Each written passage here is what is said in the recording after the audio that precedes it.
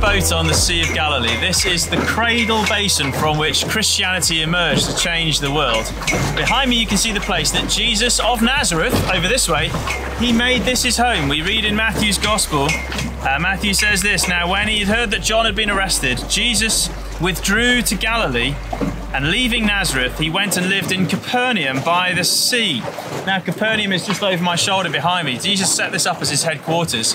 And this little perimeter, this just this corner really, the northwest corner of Galilee, became his center of ministry.